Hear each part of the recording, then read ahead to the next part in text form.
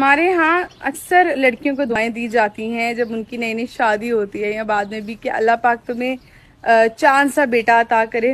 तो ये दुआ क्यों नहीं देता कि अल्लाह पाक तुम्हें खूबसूरत से नसीब वाली बेटी अता करे जिसने सारी उम्र साथ निभाना होता है?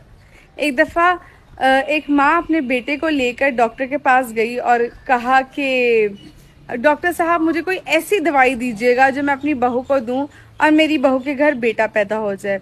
डॉक्टर ने बड़ी हैरानगी से देखा और कहा कि क्यों आप ऐसा क्यों चाहती हैं? पहले तो मुझे ये बताएँ। तो उन्होंने कहा कि मेरी बहू के घर दो पहले ही बेटियाँ ये उसका शौहर है जो मेरे साथ आया है। तो अब हमें बेटा चाहिए ताकि हमारी नस्ल आगे बढ़ सके। तो डॉक्टर ने कहा कि माफ़ कीजिएगा साइंटिफिकली ही ये कोई आ, ऐसा मुआवजा अभी तक नहीं हुआ कि आपको ऐसी दवाई दे दी जाए कि जिससे बेटा ही पैदा हो। ये शर्त आपकी पूरी हो सके। फिर वो कहती हैं कि आप ऐसा करें, मुझे किसी ऐसे डॉक्टर का नंबर दे दे जो मुझे कोई ऐसी दवाई दे दे। तो उन्होंने कहा कि आपने मेरी बात गौर से नहीं सुनी कि अभी तक ऐसी कोई दवाई नहीं आई है जो मैं आपको या कोई और भी डॉक्टर दे सके कि बेटा पैदा हो जाए। तो उन्होंने कहा, नहीं, मैंने तो सुना था कि ऐसी दवाई आ गई हुई है। जिस पर उन्होंने कहा, वो कोई जाली डॉक्टर, जाली पीर, बाबा फ़कीर जो ऐसे मशवरे देते हैं। हम ऐसे मशवरे नहीं देते।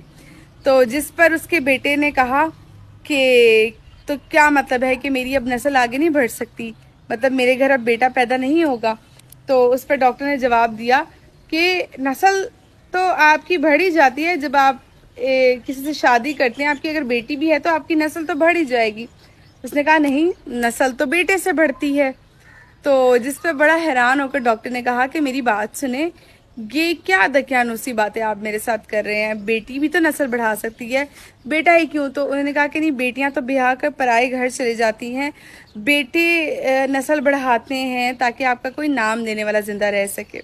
जिस पर डॉक्टर ने मुस्कुराते हुए उस लड़के से कहा कि आपको अपने परदादा का नाम याद है? तो वो थोड़ा सा जबान उसकी लड़खड़ा गई। तो डॉक्टर ने कहा, कोई बात नहीं, घबराए मत। मुझे मालूम है कि आपको नाम नहीं याद होगा। उन्होंने भी शायद आपकी ख्वाहिश इसीलिए की थी, या आपके बाप की ख्वाहिश इसीलिए की थी कि आपका उनका नाम ज़िंदा रहे। जब आपको उनका नाम नहीं याद तो आपके आने वाली जो ये आप कह रहे हैं, बकौल आपके, के लड़का आपकी नस्ल बढ़ाएगा, उसको कैसे आपका नाम याद रहेगा? तो मेरी एक बात सुने कि पास ही गाँव में, फिर फिर उस डॉक्टर ने एक और बात कही उनसे कि ऐसा है कि आप तो बड़े आम से इंसान हैं। आपने, आप मुझे बताया ना कि आपने अपना नाम ज़िंदा क्यों रखना है? तो जिस पर उन्होंने कहा, क्या मतलब है? हमने अपना नाम ज़िंदा रखने के लिए अपनी नस्ल बढ़ाने की ख्वाहिश नहीं कर सकते। उन्होंने कहा कि अगर आपके घर लड़का नहीं भी पैदा होगा तो इससे क्या हो जाएगा? डॉक्टर ने कहा कि बेटियाँ भी नस्ल बढ़ा सकती हैं।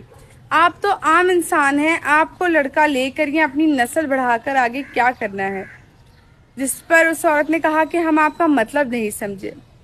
फिर डॉक्टर ने कहा कि एक पास ही गाँव में एक मखसूस गाय की इकसाम है जो दूध सबसे ज़्यादा देती है। हमें फिक्रमंद उनके लिए होना चाहिए कि वो ज़्यादा गाय, वो ज़्यादा दूध देने वाली गाय हैं। और अगर वो ख़त्म हो गई तो फिर दूध कैसे पूरा होगा? या फिर एक तोतों की इकसाम वो है जो बोलती है, मखसूस इकसाम है। और अगर उस, वो, उसकी नस्ल ख़त्म हो गई तो फिर क्या करेंगे हम? तो आप तो बहुत आम हैं। आपके यहाँ बेटा नहीं भी पैदा होता, आपकी नस्ल, आपके मुताबिक अगर नहीं भी बढ़ती तो कोई ख़ास फ़र्क नहीं पड़ता।